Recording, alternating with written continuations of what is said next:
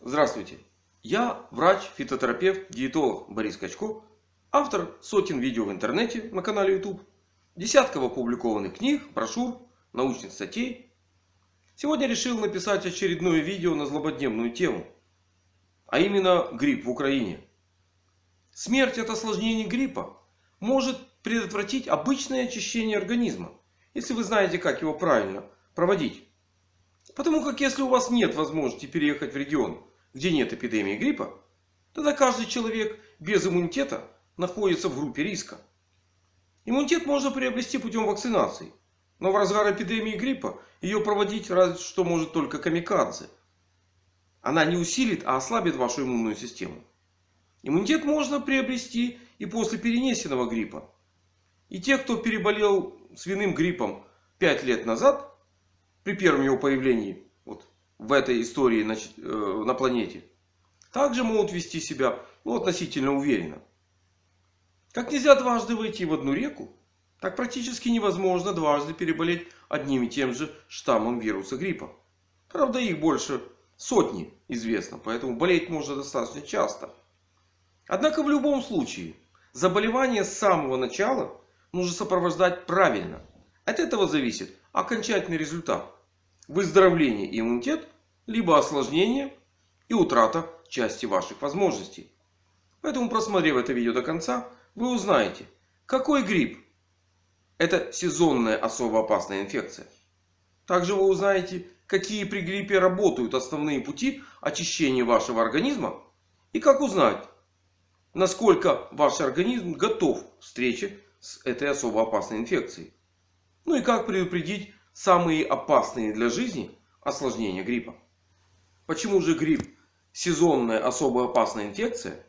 Просто каждое живое существо потребляет что-либо из окружающей его среды. И выделяет в нее продукты своей жизнедеятельности. Это называется обмен веществ. Человек не исключение. Нарушение в системе питания и или очищения и развиваются основные неинфекционные заболевания, которые с развитием цивилизации стали все более частым явлением. Оттеснив примерно 100 лет назад, собственно, инфекционные заболевания с первой строчки среди причин смерти, на которой инфекции находились всю историю развития человечества. Однако возбудители инфекционных заболеваний, вирусы, микроорганизмы, грибы, так или иначе присутствуют не только в окружающей человека среде, они находятся в непосредственном контакте с организмом человека, населяя барьерные органы. Желудочно-кишечный тракт, органы дыхания, кожу, мочеполовую систему. А часть из них, однажды ворвавшись в ваш организм, теперь пожизненно прописаны и в организме человека. Как, например, некоторые вирусы. И пока человек с такой дополнительной токсической нагрузкой справляется, он находится в состоянии относительного здоровья. Вот когда в эту систему внедряется новый патоген, важно его правильно встретить. От чего же зависит опасность нового возбудителя? Первично от скорости производства токсинов и степени опасности этих токсинов для вашего организма, для жизненно важных органов. А вот вторично от вашей реакции на эту новую ситуацию. Однако, так как вы не можете регулировать опасность патогенов, которые попадают в ваш организм, ваша реакция на инфекцию становится первичной и жизненно важной. Почему опасен грипп? Скорость производства токсинов очень высока. А для штаммов гриппа А сравнима с особо опасными инфекциями. Такими как чума, холера, натуральная оспа. Потому и смертность высокая. Однако грипп это не приговор а руководство к действию. Приговор только для людей неосведомленных. Статистика на сегодняшний момент. Одна лишь Донецкая область потеряла примерно 300 человек от осложнений гриппа. Статистика в Украине в других областях вроде как мягче. Около сотни человек пострадали таким образом от вируса гриппа. Но думаю, что цифры существенно занижены. Поэтому действия нужно совершать сразу, при первых признаках. Не нужно дифференцировать. Вирус такой, вирус всякой, ОРЗ, ОРВИ, грипп. Если у вас начинает подниматься температура, действие нужно, лечебную помощь нужно оказывать, возможно, ранее. Используя основные работающие при гриппе пути очищения вашего организма, значимость которых в обычной жизни и в случае развития инфекционных заболеваний различны. Особенно это имеет значение, если это грипп. Но о том, как оценить свой уровень здоровья и степень вероятности развития осложнений в вашем организме, вы узнаете прямо сейчас. Какие же основные пути очищения организма и какое они имеют значение при гриппе? В обычных условиях основной орган очищения крови это печень. Печень при правильном к ней отношении способна не только очищать до 30% крови, но и обезвреживать токсические вещества. Что кроме нее в организме практически никто не делает. Только у нее такая прерогатива делать токсины неактивными. И в этом виде они удаляются через, собственно, желчью, печенью и через другие пути удаления токсинов. Однако, если есть застой желчи, на фоне какой-то дискинезии, например, желчного пузыря, песочек либо камни в желчном пузыре, говорят просто о давности этой ситуации. Не говоря уже о наличии гепатита либо жирового гепатоза, то вы не очень готовы к эпидемии гриппа. И выработка интерферона антител под угрозой. Особенно в случае приема стимуляторов выработки интерферона до болезни. Принимая их на фоне для профилактики, вы истощаете и без того скудные резервы. Когда вы их создавали? А никогда. Вы просто жили как жили. Принимая стимуляторы синтеза интерферона вне инфекции, да, у вас в крови полно интерферона, вы вроде как защищены.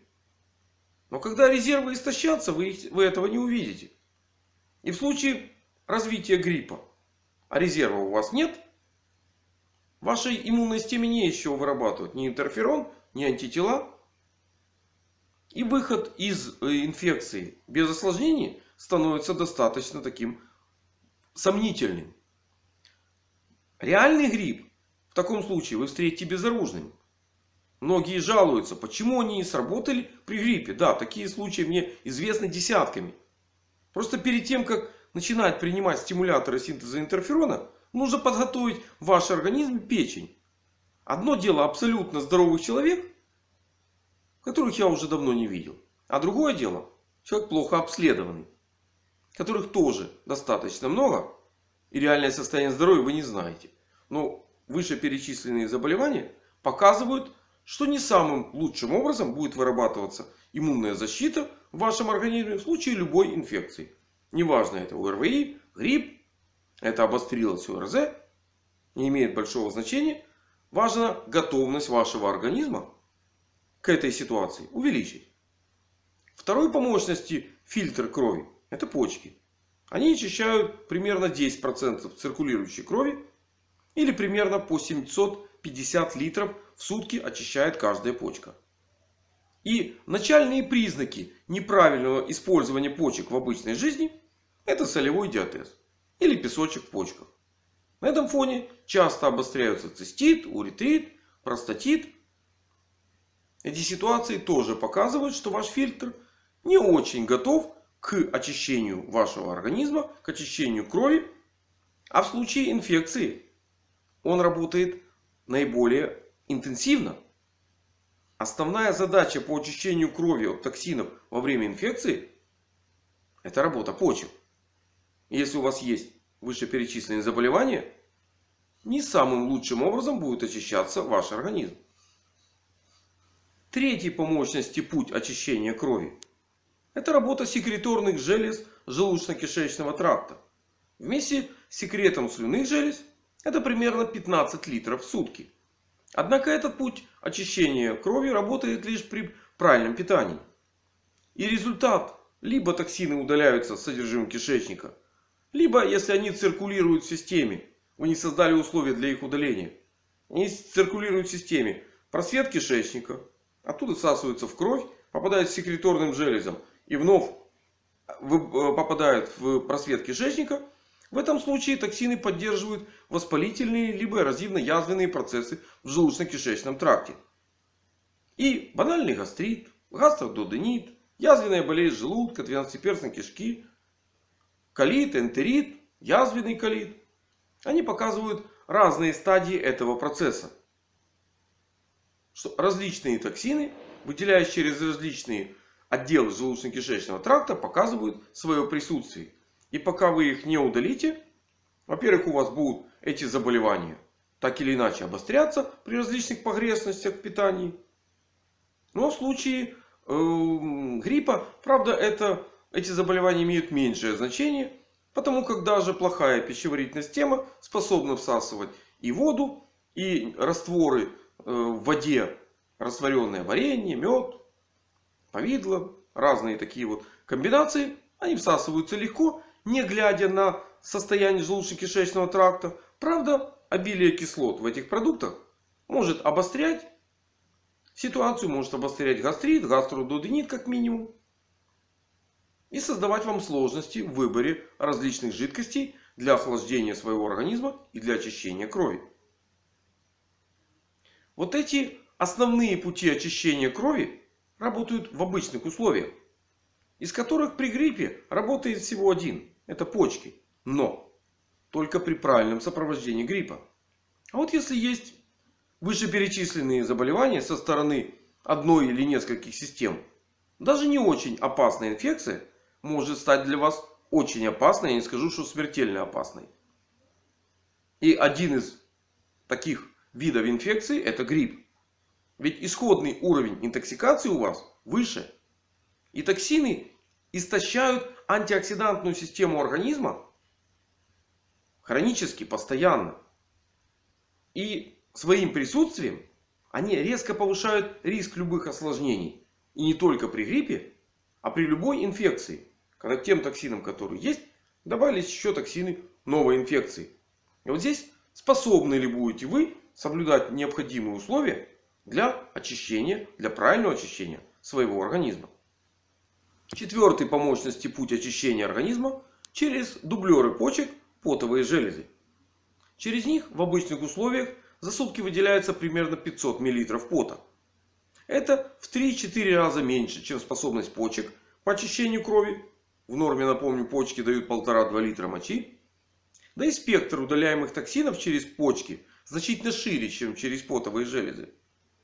А вот если у вас присутствует измененный запах пота, некоторые кожные заболевания, то это индикатор неправильного использования этой системы в обычных условиях.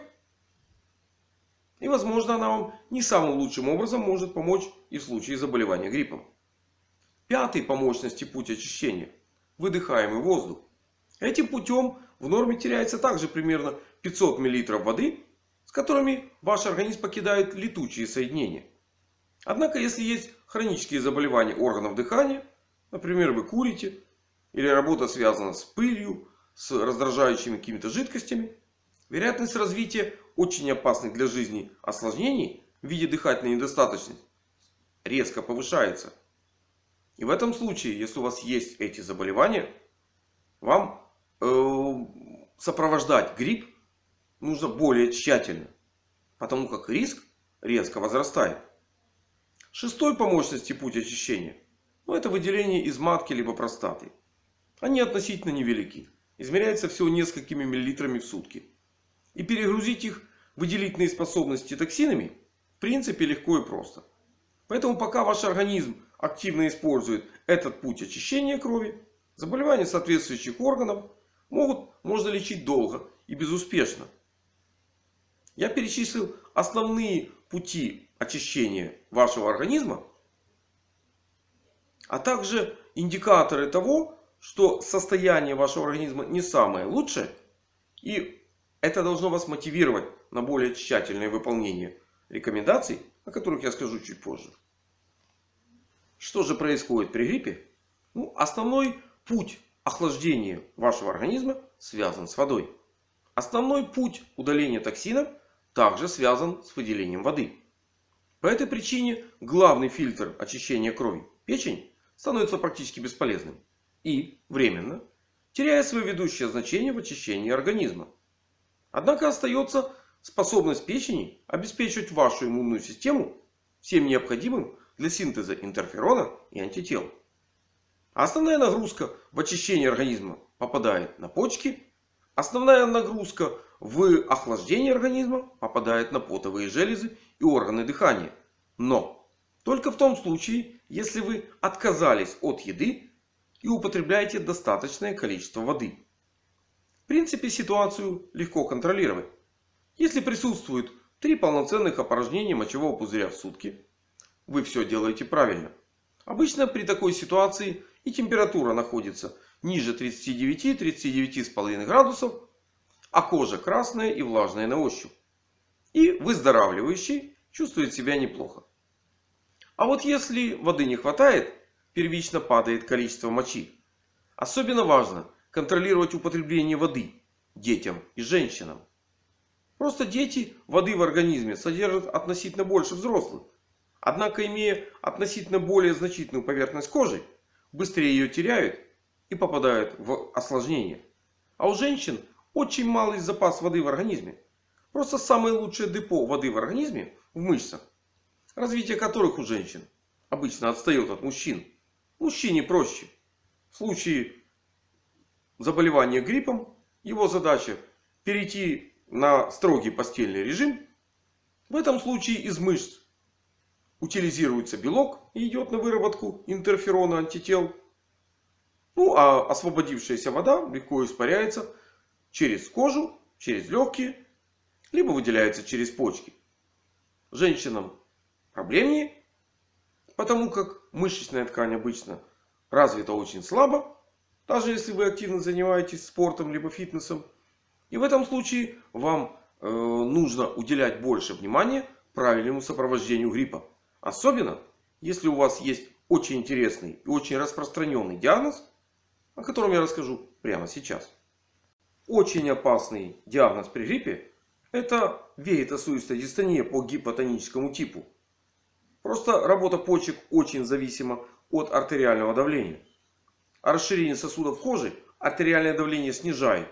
Гипертоники при этом радуются. Да, при повышении температуры снижается давление. Они могут немножко сэкономить на гипотензивных. Точно так же, как они это делают в летнюю жару. А вот в случае, если давление было исходно низким, то чрезмерное повышение температуры тела у больного гриппом Организм попадает в порочный круг. Чем выше температура тела, больше расширены кожные сосуды, кровь находится под кожей, тем ниже уровень артериального давления и почки еще хуже очищают кровь. Однако, если вы вовремя пополнили запасы воды в своем организме, испарение воды с поверхности кожи снижает температуру и почки вновь включаются в очищение крови, могут легко очищать кровь и до тех пор, пока кожа красная и влажная, очищение крови идет эффективно. На фоне соблюдения питьевого режима и только при достаточном питье очищение через кожу можно усилить. Одновременно несколько снизив температуру тела. Такие процедуры понятны при температуре 39, 39,5 и выше. А при более низкой, до 39 градусов, делать я бы их вам не советовал. Просто можно преждевременно сбить температуру и нарушить выработку интерферона и антител. Ну а каким способом можно вот ту пакостную температуру 39, 39,5 до 40 сбивать и получать положительный результат, вы узнаете прямо сейчас. Что же делать? Ну, самый простой способ обеспечить небольшое охлаждение вашего организма и обеспечить его очищение – это компресс. Но правильный компресс. С использованием легко испаряющейся жидкости. И обязательное принципиальное условие. Он должен с одной стороны хорошо удерживать влагу. И с другой стороны быть очень тонким. Просто чтобы жидкость легко испарялась. Именно в этом основная фишка. Компресс по мере испарения нужно увлажнять.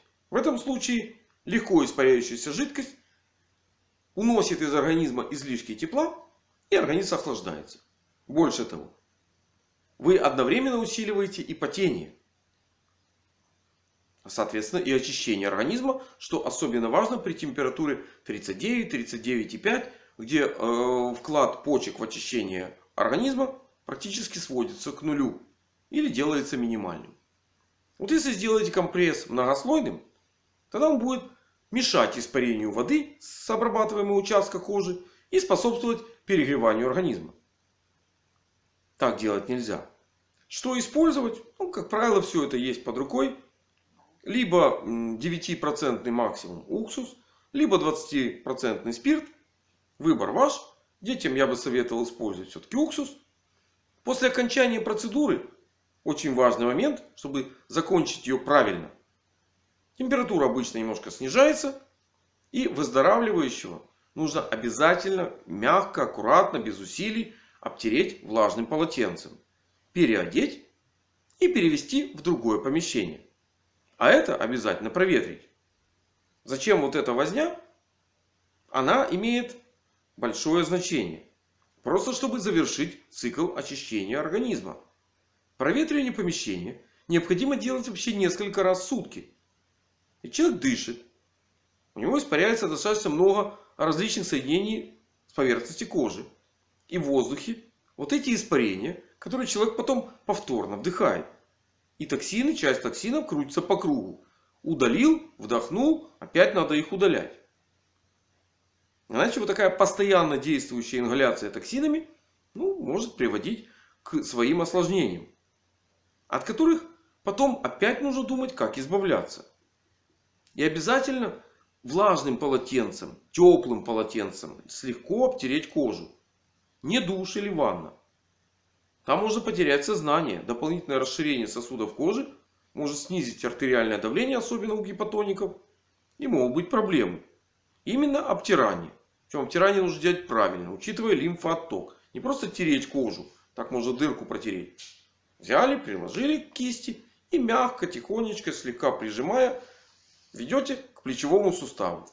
Руку с нескольких сторон обтерли, другую руку, ножку. И вот таким образом вы обеспечиваете лимфодренаж и усиливаете очищение крови.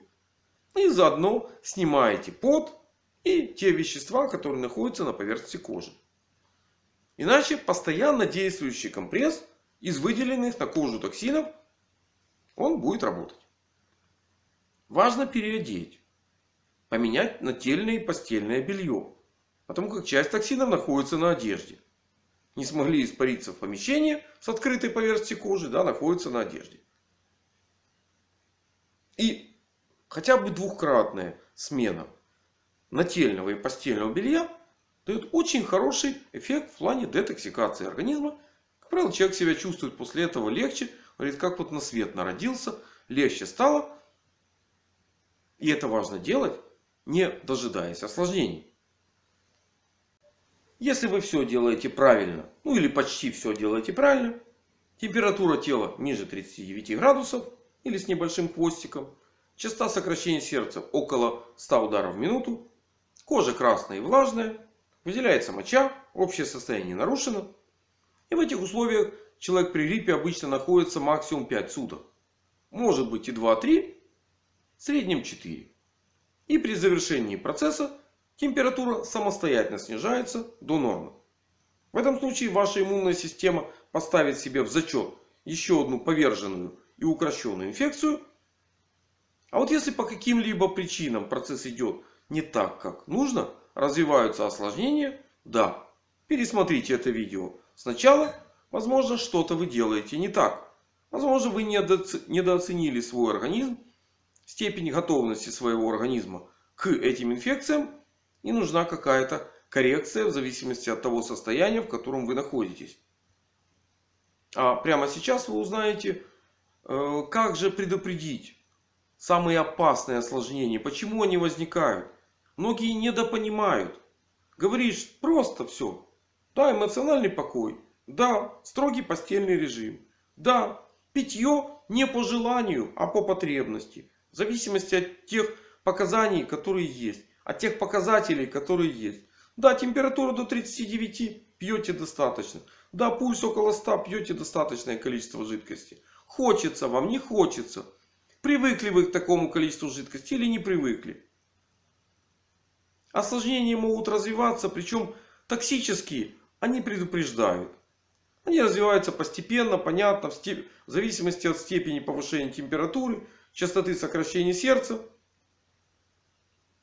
прямом, прямой зависимости находится токсическое поражение вашего организма. Если вы в этих условиях нагружаете какие-то системы, они будут страдать в большей степени. Но есть очень опасное осложнение. Я вам сейчас покажу механизм их развития, чтобы вы понимали. И вот эти осложнения возникают внезапно. Вот так. Как многие хотят выздороветь. Расскажите мне, как выздороветь. Я щелк и я здоров. Вот примерно то же самое происходит при гриппе с очень опасными осложнениями. Которые очень тяжело предотвратить, вернее вывести из этих осложнений очень тяжело. И о них вы узнаете прямо сейчас. Какие же самые опасные осложнения при гриппе? Ну, любой грипп, любая инфекция – это всегда интоксикация. И ваша цена за выработку иммунитета – токсическое поражение органа. И основной вопрос – как не заплатить слишком высокую цену? Для этого нужно максимально возможно снизить вашу активность при гриппе до строгого постельного режима, убрать эмоциональный компонент и употребляя воду в разных видах. Просто ждать, когда ваша иммунная система справится с инфекцией. И по большому счету никого не интересует, хочется вам пить или не хочется. Привыкли вы пить столько воды или жидкости или не привыкли. Цена вопроса ваше здоровье и ваша жизнь. И индикаторы я уже и сказал в этом видео и в других видео своих. Можете посмотреть и первую помощь при гриппе. И основные признаки, и первые признаки осложнений этой опасной вирусной инфекции. Что делать в разных случаях. Такие видео на моем канале есть. Вы их можете просмотреть. Потому как наиболее опасные и очень коварные осложнения со стороны органов дыхания. Предвестники осложнений в этом случае отсутствуют. Ни по степени повышения температуры, ни по пульсу, ни по частоте дыхания. Вы не можете их предугадать. Да, в зависимости от степени повышения температуры частоты сокращения сердца находится степень интоксикации. Количество мочи показывает, да, насколько ваш организм способен бороться с токсинами. Но в случае осложнений со стороны органов дыхания все возникает внезапно. Этому способствует строение органов дыхания, о котором я вам расскажу прямо сейчас. Как же устроена дыхательная система? Ну, решил нарисовать вот такую вот картиночку. Может быть она не самая высокохудожественная, но принципиально показывает как все происходит. Вдох нужно делать, вот стрелочка стоит, обязательно через нос. В этом случае воздух, пройдя через, собственно, три носовых хода, через придаточные пазухи носа, он не только очистится от бактерий, от вирусов, от грибов, от полевых частиц, химических компонентов различных из воздуха, но он еще и согреется, а самое главное увлажнится. В этом случае воздух проходит дальше в дыхательное горло проходит и проходит трахею. И может попадать в легких для газообмена. А вот далее от легких вместе с воздухом на выдохе. Только вы делаете выдох, а мерцательный эпителий помогает мокроте удаляться. Идет мокрота. Примерно 1 литр в сутки у взрослого человека. Почти 98% которой это вода. И если воды не хватает, а первые признаки ее нехватки я уже ранее тоже рассказал, густая слизь перекрывает бронхи. Причем, если речь идет об обычном воспалении легких, скажем, долевая пневмония, когда блокируется один долевой бронх. Вот они тут присутствуют. Вот трахея. И вот три бронха с одной стороны, два с другой. В этом случае, если блокируется долевой бронх первого порядка, развивается долевая пневмония, теряется примерно 20% дыхательной поверхности. Да, это серьезная потеря. Развивается небольшая дыхательная недостаточность. И такое состояние обычно лечится в стационаре. Это серьезно. В эру до антибиотиков в этом случае многие и погибали. Не выживали. Если блокируется менее крупный бронх, следующий, вот тут они как пальчики выглядят. Таких бронхов с э, права 11, слева 10. То есть 21 бронх с двух сторон присутствует. То есть разделив, получаем примерно каждый бронх э, обеспечивает воздухообмен 5% органов дыхания. Вот такая э, пневмония связана с одной долькой. Ее даже практически не видно, ее только слышно. Да, э, кашель будет, мокрота будет выделяться, но общее состояние обычно не нарушается. Но и в первом, и во втором случае такие пневмонии при гриппе не возникают. Эти пневмонии развиваются от обычных бактериальных инфекций. А вот при гриппе обычно блокируются мельчайшие альвеолы. Я вот тут их нарисовал. Вот, вот, они находятся на периферии. А их очень много. И казалось бы, если заблокировать альвеолу, то какая разница? Такая мелочь. Да, там бронхов 6, 7 или 8 порядков. То есть я первых два обозначил. Там бронх там последних порядков заблокировать. Ну ничего страшного. Там альвеола какая-то недополучает свой воздух, не участвует в газообмене. Но при гриппе не все так просто. При гриппе блокируются практически все. Слизь, образуясь на периферии, выходит в ближайший бронх и блокирует его. И вот здесь возникает очень серьезная проблема. Дыхательная поверхность, блокированная вот такой слизью, это не 5%, как при дольковой пневмонии, и не 20%, как при долевой. Это значительно больше. Развивается так называемая сливная пневмония, когда в хаотическом порядке в обоих легких блокируются массово вот такие бронхи и блокируется дыхательная поверхность. И вот здесь очень легко, очень быстро и практически молниеносно в течение каких-то десятков минут или нескольких часов развивается острая дыхательная недостаточность. Которую проще предупредить. Как в той рекламе, в одной из реклам было просто налей воды. Просто пить воду правильно, в достаточных количествах и нужного качества. То есть тепленькую, с какими-то органическими кислотами, чтобы оно легче всасывалось в кровь. И предупреждать вот эти вот очень жесткие, очень опасные для жизни осложнения со стороны дыхательной системы. Потому как даже когда э, выходит человек из этого состояния, да, выводят. Это аппараты искусственного дыхания тут нужны. Тут нужно жестко помогать. Явно не в домашних условиях. Если правильно сопровождая грипп, вы можете спокойно лечиться в домашних условиях. И правильно понимая этот процесс, предупреждать осложнения. Если вам не удалось, поехали вы в поликлинику, забыли взять с собой водичку. В течение получаса-часа, пока вы были в дороге, вода в организме начала заканчиваться. Кровь более густая. Нагрузка на сердце, нагрузка на сосуды. И те, у кого там есть проблемы, они начинают испытывать проблемы со стороны сердечно-сосудистой системы. А мокрота в легких начинает подсыхать. И развивается дыхательная недостаточность. Которую еще раз проще предупредить, чем лечить. Лечить значительно сложнее. Выходит далеко не все. Статистика неутешительная. Эпидемия в Украине еще не началась. А по статистике только в одной Донецкой области более 300 человек погибли от этой опасной инфекции. В Украине статистика немножко мягче. Около сотни человек. Но я думаю, что эти цифры немножечко занижены и будут достаточно быстро и активно расти. Если вы не понимаете важность таких простых рекомендаций в сопровождении этой очень опасной и коварной вирусной инфекции. Поэтому я и делаю постоянный акцент на правильное употребление воды в достаточных количествах и в разных видах. Также увлажнение воздуха, а также соблюдение строгого постельного режима. Не нужно ездить к врачам на консультации.